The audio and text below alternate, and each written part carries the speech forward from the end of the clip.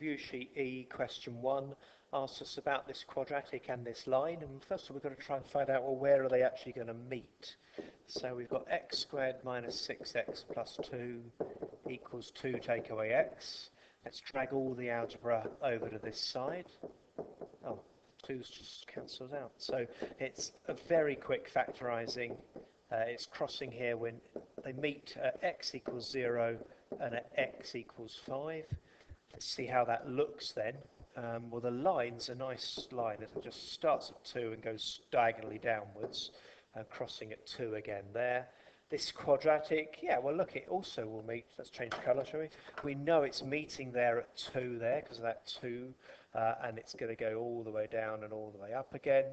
And it's crossing here when x is 5. That seems about right. x equals 5 is to the right of the 3, of the, the 2 there. So there's our two meeting points.